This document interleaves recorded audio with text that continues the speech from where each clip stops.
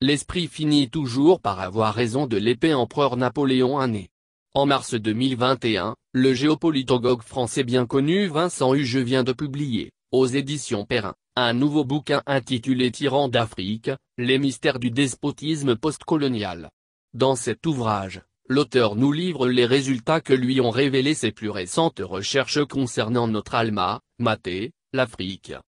L'intérêt particulier que m'inspirent personnellement ces résultats m'amène à vouloir partager la lecture de cet ouvrage avec tous les authentiques combattants togolais de la liberté.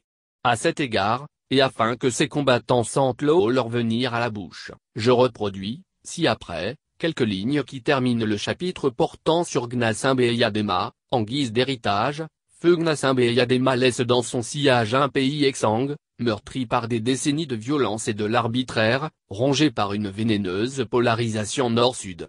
Rien ne rend mieux compte de l'étendue des dégâts que le scénario de la succession, piteuse mascarade. Orchestré par Charles Debache, archétype du juriste dévoyé.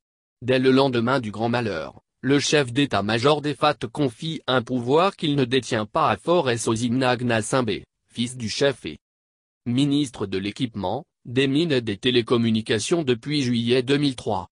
Encore faut-il, pour sauver, grossièrement, les apparences, propulser à la hâte ce trentenaire introverti, formé à Paris Dauphine aux États-Unis, au perchoir de l'Assemblée et distordre la Constitution de manière à lui octroyer la magistrature suprême jusqu'au terme du mandat en cours, échu en 2008.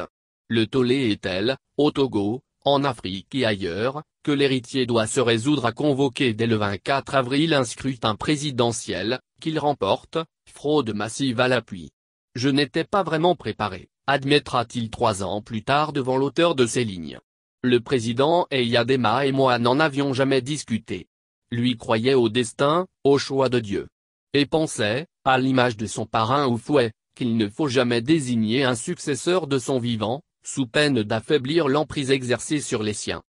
Largement réélu, du moins si l'on en croit le verdict officiel, en février 2020, fort, tiraillé entre la volonté de solder le passif paternel et la crainte de profaner le mausolée familial, ne s'est jamais délesté de son fardeau originel.